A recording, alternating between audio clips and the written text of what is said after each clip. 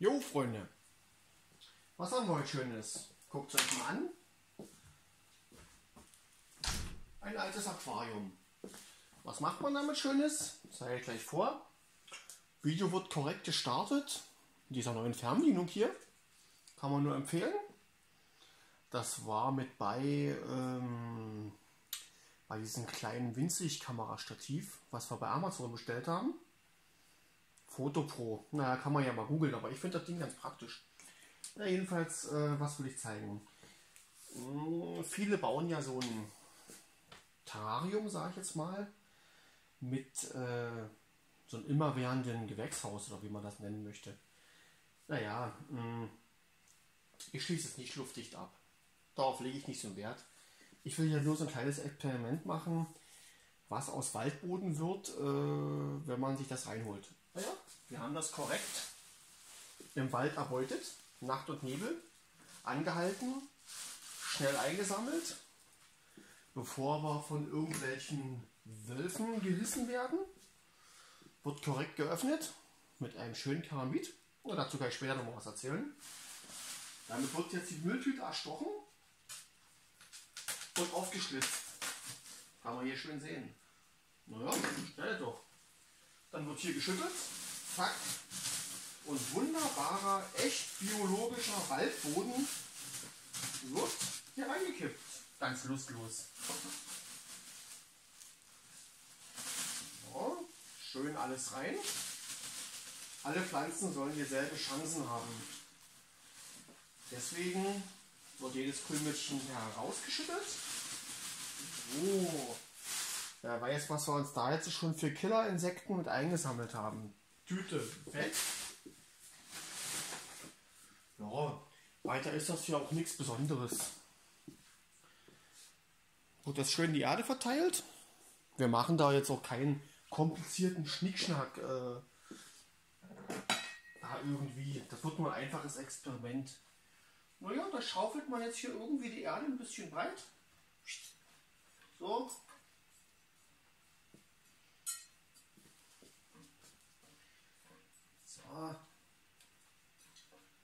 Oh, hier ist ja schon Pflänzchen drinne.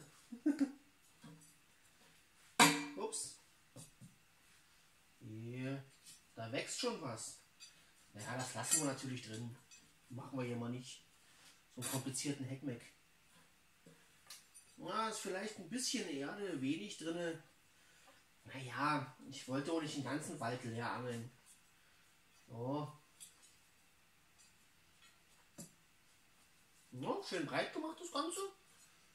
Und dann gucken wir mal, wie die Natur sich hier entwickelt. Ich finde das schon mal hochinteressant. Wie sieht das aus in der Kameraeinstellung? Nur ist doch schön. Oh. Ja, wir haben sogar uns in Unkosten gestürzt und haben teure Aquarium-Deko besorgt. Ich meine, man soll ja auch hinterher was sehen. Es darf nicht zu langweilig werden. Schlitz. Nun. Zack. Nochmal.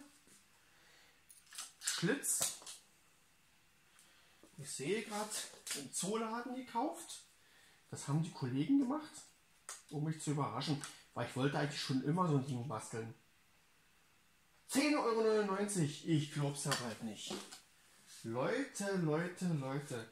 10,99 Euro, ein so ein Teil. Der Teil 2 stellen wir hiermit einfach dazu. Kann man ja später rausnehmen. Es ist ja bloß dafür, dass es nicht zu langweilig wird, wenn wir das jetzt filmen, weil ich weiß nicht, ob da in nächster Zeit was wachsen wird. Das dauert wohl auch eine ganze Zeit lang. Wie gesagt, wenn man so ein richtiges äh, ewiges Gewächshaus anrichten möchte, kommt ein Schälchen mit Wasser rein. Hier oben kommt eine Glasplatte drauf. Ähm, und dann bildet sich da drin ein Mikroklima, äh, wo die Pflanzen ihren eigenen Sauerstoff erzeugen, was weiß ich, äh, Photosynthese, könnt ihr alles euch selber belesen. Und da bildet sich drin so ein Kreislauf mit äh, Wasser, was kondensiert an den Scheiben runterläuft, den Boden wässert. Na, wie eben so ein, so ein abgeschlossenes äh, Habitat oder Biotop. Ähm, darauf kommt es mir gar nicht so doll an. Ich möchte sehen, was im Waldboden für Sporen von Farnen oder Pflanzensamen drin ist. Die müssten dann ja irgendwie